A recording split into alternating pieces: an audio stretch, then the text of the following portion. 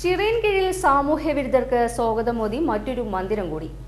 ആയിരത്തി ഒരുന്നൂറ്റി അൻപത്തി അഞ്ചാം നമ്പർ സർവീസ് സഹകരണ ബാങ്ക് പ്രവർത്തിച്ചിരുന്ന കെട്ടിടമാണ് ഇപ്പോൾ കാടുമൂടി അനാഥമായി കിടക്കുന്നത്.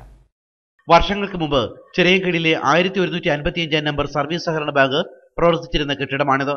ബാങ്കിന്റെ പ്രവർത്തനം പുതിയ മന്ദിരത്തിലേക്ക് മാറ്റിയതോടെ ഈ കെട്ടിടം അനാഥമായി. ബാങ്ക് നടത്തിപ്പുകാർ ഈ കെട്ടിടത്തെ മറന്നു. പുതിയ സൊസൈറ്റി വന്നതോട് പോസ്റ്റ് ഓഫീസിന്റെ അടുത്ത് വന്ന സൊസൈറ്റി വന്നതോടുകൂടി ഇത് അങ്ങ് നാമാവിശേഷമായിട്ടിരിക്കുകയാണ്. പക്ഷേ അതിലുള്ള പ്രവർത്തകർ ഇത് എന്താണെന്ന് അറിഞ്ഞില്ല തിരിഞ്ഞു നോക്കുന്നില്ല. പക്ഷേ ഇവിടെ പഴയതുപോലെ ആൾ ആൾസഞ്ചാര യോഗ്യമാക്കി തീർക്കാൻ വേണ്ടി ഞങ്ങൾ പലരോടെയും പറഞ്ഞിട്ടുണ്ട്. പക്ഷേ എന്താണെന്ന് അറിയത്തില്ല റെയിൽവേ വന്നപ്പോഴത്തേക്കാണെന്നാണ് ഇതിന്റെ പ്രവർത്തനം സ്തംഭിച്ചത്. സംരക്ഷിക്കപ്പെടേണ്ടതായിരുന്നു ഈ മന്ദിരം. കഥകുകളെങ്കിലും നേരെയാക്കി അടച്ചുപൂട്ടിയിടുകയെങ്കിലും ചെയ്യാമായിരുന്നു.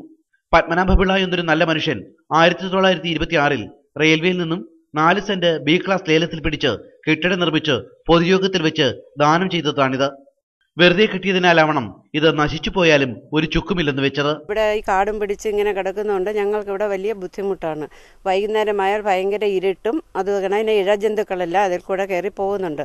കുട്ടികളെല്ലാം ഇതുവഴി നടക്കുമ്പോൾ അവർക്കും അതിന് ഒരു പേടി സ്വപ്നമാണ് എല്ലാവർക്കും. ഇവിടെ നിന്ന് തുടങ്ങിയ ആയിരത്തി ഒരുന്നൂറ്റി അൻപത്തി അഞ്ചാം നമ്പർ സർവീസ് സഹകരണ ബാങ്കിന് ഇപ്പോൾ അഞ്ച് ശാഖകളും ഒരു ഹെഡ് ഓഫീസുമുണ്ട്.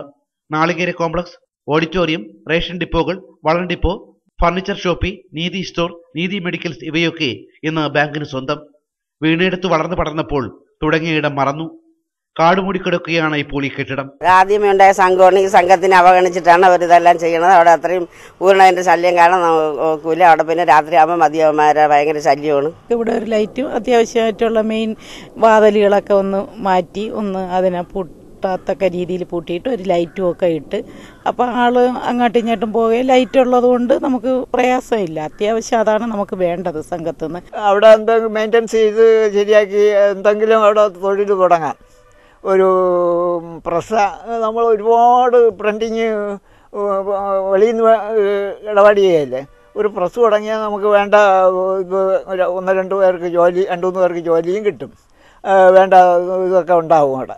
മെയിന്റനൻസ് എല്ലാം ചെയ്ത് വാതിലുകളെല്ലാം വൃത്തിയാക്കി അത് എല്ലാം റെഡിയാക്കി എടുത്തിട്ട് അതിനകത്ത് ആരും കിടക്കാത്ത രീതിയിൽ സുരക്ഷിതമാക്കി എടുത്ത് അതിന്റെ താക്കോൽ സംഘത്തിന്റെ കീഴിലെ ഭാരവാഹികൾ അതിന്റെ മേൽനോട്ടം വഹിച്ച് അതിന് വേണ്ടുന്ന രീതിയിൽ എന്താണെന്ന് വെച്ചാൽ ചെയ്യണമെന്നാണ് എന്റെ ഒരു അപേക്ഷ. കാടിനുള്ളിലെ മുറിയിലും രാപ്പാർക്കാൻ ആളുണ്ട്. അനാശാസ്യ പ്രവർത്തനങ്ങൾക്കായി അനുവദിക്കപ്പെട്ട സ്ഥലം പോലെ ഓർമ്മകൾ ഉണ്ടായിരിക്കണം ബാങ്ക് നടത്തിപ്പുകാർക്കും. Y si menos.